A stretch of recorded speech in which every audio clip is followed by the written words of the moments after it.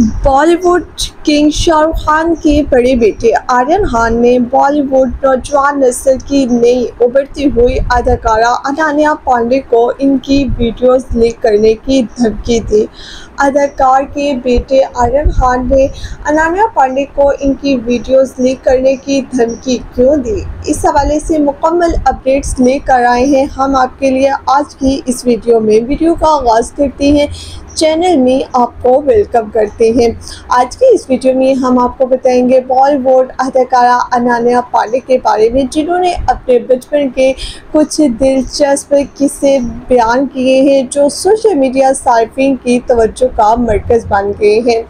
हाल ही में बॉलीवुड अदाकारा अनान्या पांडे ने अपनी नई एक्शन थर्ड फ़िल्म टीसीआरएल के प्रमोशन के दौरान अपने बचपन के दिलचस्प किस्से भी सुनाए हैं, जो सोशल मीडिया सार्फिन की तवज्जो का मरकज़ बने हुए हैं।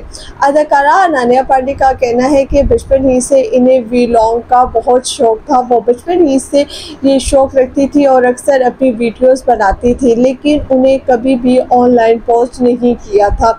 अदाकारा नानिया पांडे ने कहा कि वो जब भी अपनी कोई नई वीडियोस बनाती तो इस वीडियो में इनकी बचपन की दोस्त सुहाना खान इनके साथ शामिल होती थी। और आपको ये भी बताते चले कि अनान्या पांडे ने इसके साथ ये भी बताया कि सुहाना खान के बेटे भाई आर्यन खान अक्सर हमें इस वीडियोस की वजह से ब्लैकमेल करते थे। वो कहते थे कि अगर आप मेरे कहने पर काम नहीं करोगी तो मैं आप लोगों की वीडियोस ऑनलाइन लीक कर दूँगा। इस बात पर वो काफ़ी ज़्यादा डर जाती थी और वो इनकी धमकी की वजह से इनके हर कहना मान जाते थे।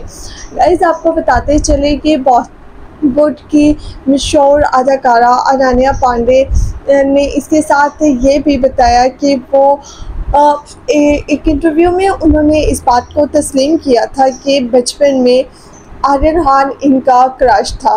लेकिन इस हवाले से उन्होंने ये नहीं बताया कि ये क्रश आगे क्यों ना बढ़ सका और इसकी क्या वजह है? इस हवाले से उन्होंने कोई भी मज़ीद अपडेट्स शेयर नहीं की थी।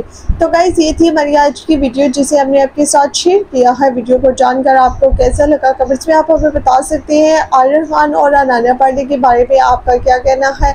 ये भी आप हमें कमेंट्स करके बता सकते हैं। वीडियो अच्छी लगी हो तो लाइक और कमेंट्स करना बिल्कुल ना भूलिएगा। चैनल पर नहीं है, अभी तक सब्सक्राइब नहीं किया तो जल्दी से चैनल को सब्सक्राइब करें। बेल आइकन को प्रेस करें, आने वाली हर लेटेस्ट न्यूज़ का नोटिफिकेशन हासिल करें। आज के लिए बस इतना ही। बहुत जल्द आपसे फिर मुलाकात करेंगे एक नई वीडियो में, एक नए के साथ। तब तक आपने अपना बहुत सा ख्याल रखना है। दुआ में याद रखिएगा। हमें दीजिए इजाज़त। अल्लाह हाफिज़।